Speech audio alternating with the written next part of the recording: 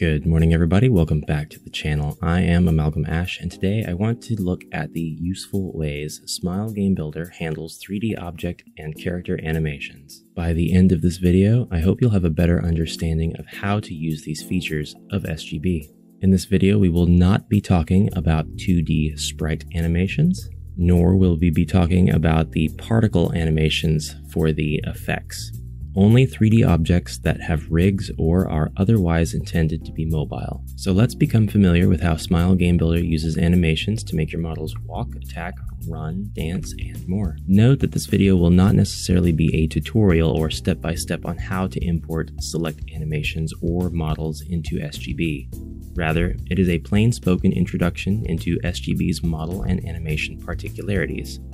However, when I can tutorialize the process of importing character models and easily affixing new animations to existing characters, I hope you'll look forward to that video or series of videos. I see you, Tyrodem. So first off, there are actually two different methods SGB takes advantage of to utilize animating your FBX models. I'm really glad that they give us both options, and you might be too when you know the difference. Smile Game Builder supports the Filmbox or FBX 3D model file format, and the two types of animations are more of a, an extensibility FBX format rather than a particularity of SGB which make the format very versatile depending on your use case for the engine. One has to do with the model already having the animations built into it. Doors and cabinets that swing open, traps that activate, buttons that push, all of these objects in SGB have the animations included with or built into model file itself. If you decide you want to have animations be included with your model in this way, the model's file size will be bigger, proportional to the data needed to add animation frames that give the rig or mesh motion. The animations will also be unique to that model. In other words, you won't be able to share animations between it and other models in SGB. That's because the animations are part of the model file itself. To illustrate how these animations work, let's look at this model from SGB imported into Blender. You can see that all of the animations this model is capable of actually are here, and they play one right after the other. All of the model's points of movement move the model itself around, and each movement takes time measured in frames.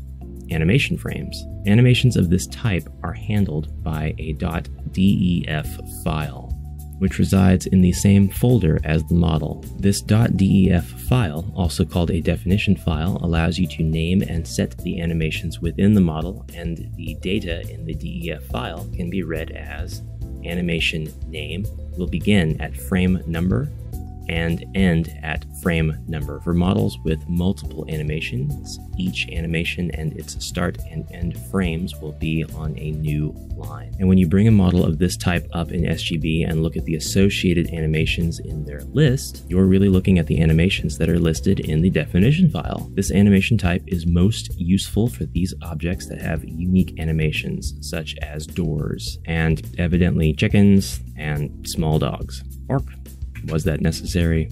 Yes. Yes, it was. Now, something important to note here this is the DEF file for the dog we just looked at. The DEF file contains names of animations that are reserved for default use within SGB. For example, walk, wait, run. These are all animations that can be called using event panels in the engine, but they are also specifically used by the engine in certain contexts. Run, for example, will always be the animation used when you are holding down the run button while moving in your game, and attack is the animation used when your character attacks during a battle. The other way SGB deals with animations has to do with static models that have rigs, but no animation data baked into them. These won't move around at all when we import them into Blender, at least not by default, and there are no frames of animation. So by themselves, they do not move, but they can be animated by a separate external file that has an identical rig. So imagine, if you will, an invisible puppeteer with no puppet who is still making the motions as if they were making a puppet dance.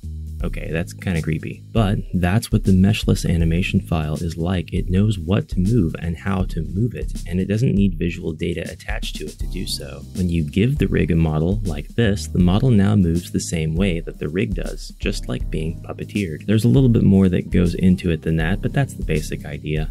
Characters that are from the same character set and that use the same animations from a motion folder are examples of this type. The purpose of this setup is to allow multiple characters who all have identical skeletons, so all of the type A or all of the type B or all of the type G and so on, to have access to the same motions. With this type, your character's FBX file will be much smaller, but they'll have access to all the same animations as they would if they were in the model file itself. The reason for this is because the animated rig in this example has the same setup as the character's rig. This is also why, say, type A animations don't work with the type B and others.